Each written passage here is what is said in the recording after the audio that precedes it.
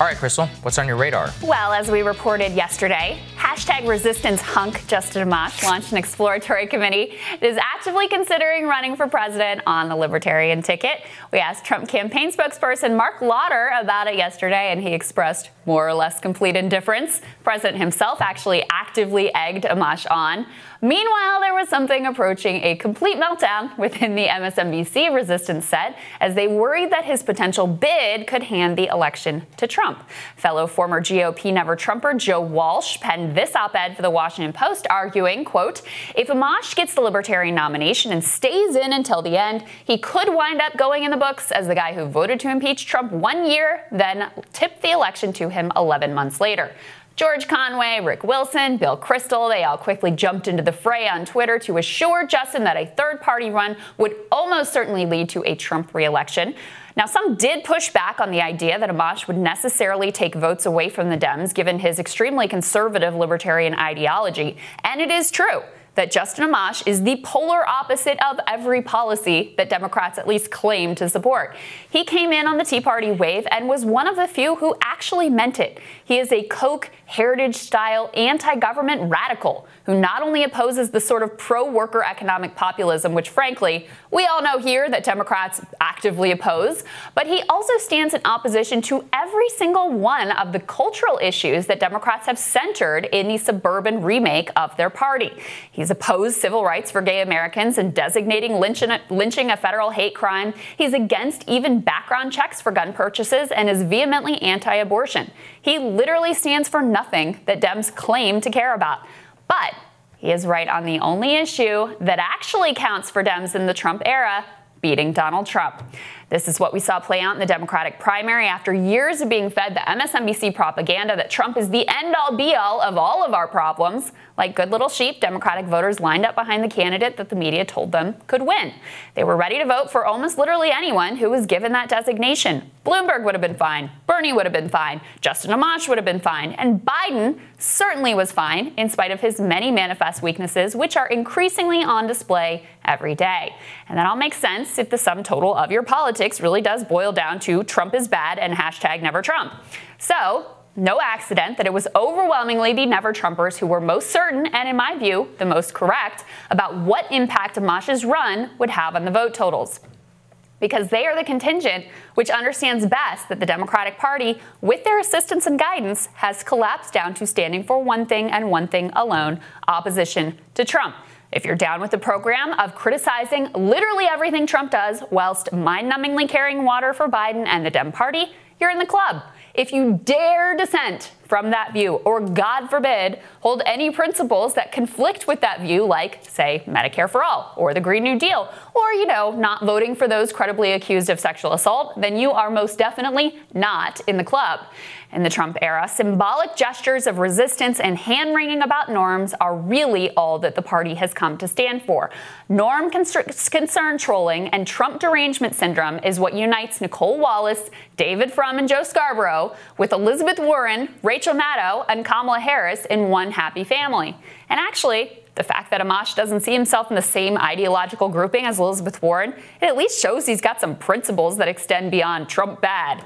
In fact, he had a great tweet about this. He said, the visceral outrage of many partisans to giving Americans an additional choice on the ballot speaks volumes about the ugly, hyper partisan nature of politics today. This is precisely the mindset that needs to be challenged and why this campaign is so critical. Man has a point. So good on him if he wants to offer voters an alternative in a different ideological lane. Unfortunately for him, as we've covered here, libertarianism is quite literally the least popular ideology in the country, and I certainly won't be voting for him, but that's fine, not a problem. The truth is, if Democrats want to win the election, they should probably worry more about appealing to voters and less about the spoilers who would dare to steal their voters. Because guess what, guys? No one is your voter. You gotta earn it. So maybe try actually standing for something. Do you really want to run on the slogan of slightly less incompetent, corrupt, and rude than Trump?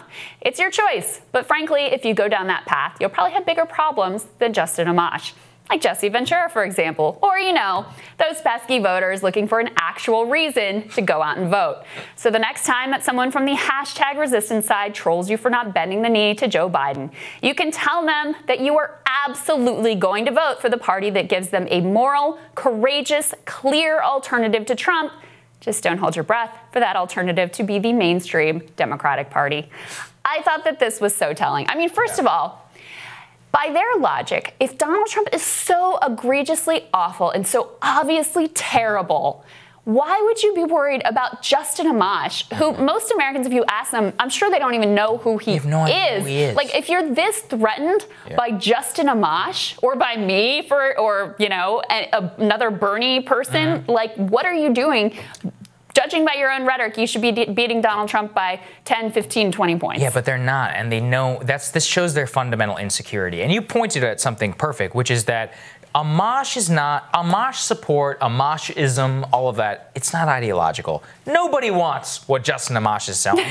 Nobody wants libertarianism. What they do want is the MSNBC and CNN grift that Amash has been on a campaign for now for a couple of years, which is tweeting about the Mueller report, voting for Trump's impeachment, leaving the Republican Party. By the way, he's only doing this because he can't even win his own home district because he's getting challenged. And it was clear that he was obviously going to go down and lose. He has no alignment with the even voters who put him into office.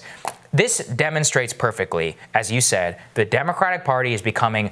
It, they, they claim to stand for many, many things. What they really stand for is the Rachel Maddow Hour on MSNBC, which is Russiagate, grifting, opposition to Trump at all costs with ludicrous stories and different ideas. And that's what Amash is. He became a resistance hero. That's who Tom Nichols is. That's who David Frum is. That's who met George Conway. I mean, all these ridiculous figures who have no relevance in their party that they claim to come from. Yeah. And now they're coming and imposing the terrible ideas that got the Republican Party to where it was right. that Trump could take it over onto the Democrats. Well, and look, I give Amash some credit here because he's basically separating himself and saying, no, guys, like, yeah, we were aligned on this one issue, but I, I actually have principles. Like, I'm not like an Elizabeth Warren type of a mm. candidate. And I think, like, they were so stunned by that because in their mind, there is one issue and one issue alone. And we saw this last night on MSNBC. Chris Hayes, oh. what did he dare to do?